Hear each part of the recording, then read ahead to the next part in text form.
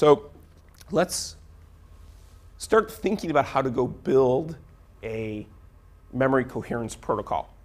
So as a little bit of a warm up for our memory coherence protocol, we'll actually see that this problem exists beyond multiprocessor systems. So a lot of the motivation for these ideas of memory coherence protocols actually predate even having multiprocessors.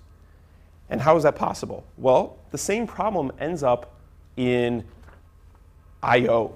So let's say you have parallel I.O. So let's take a look at this picture here. We have one processor, a uniprocessor system, and we have main memory here, and we have a cache.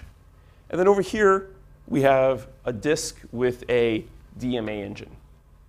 So a direct memory access engine. So this is a autonomous uh, uh,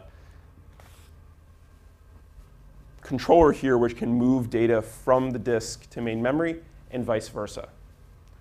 So how does, how does this come up with uh, something like parallel, uh, what, what problems can come up with something like parallel I.O.?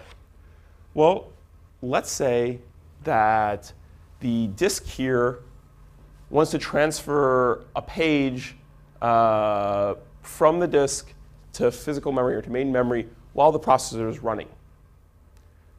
Well, you program up the DMA controller and says, go. Well, it's going to start copying data here from the disk out to main memory.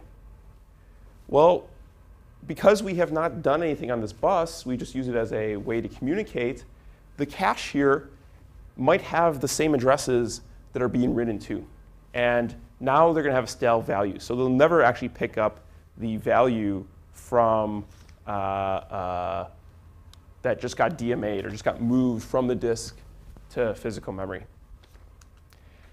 Likewise, um, so that's disk to memory. You might get uh, stale data in the cache.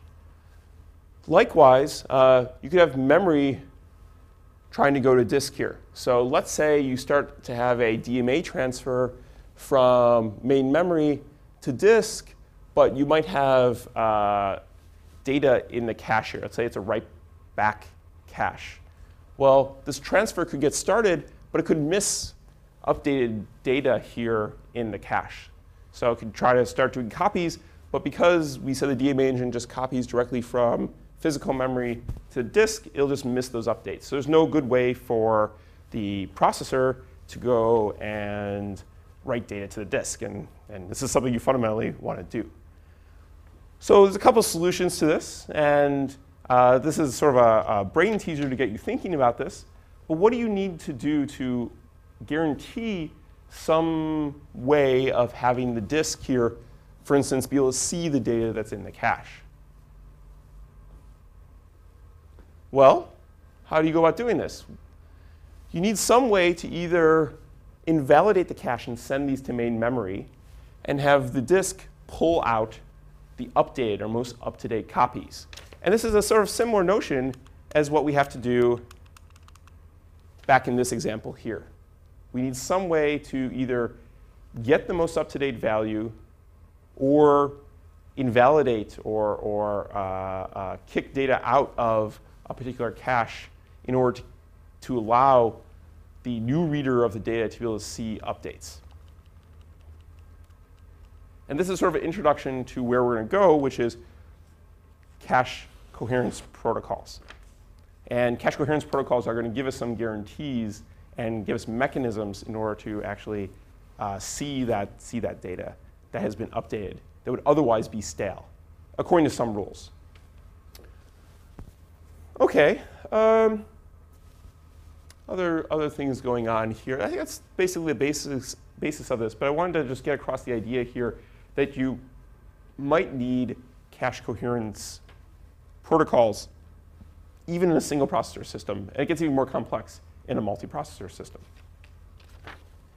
So what was the, the, the, one of the big solutions to this problem? Let's say you wanted to have caches. You wanted to be able to have either parallel I.O. going on or multiple processors with caches be able to access data, and you want a write to one processor to be able to be seen by another processor, or the write from one processor to a cache be able to be seen by the disk controller here. And fundamentally, the problem here is this, this DMA engine will only knows to go to main memory. It doesn't know that there might be dirty data in the cache for the same address.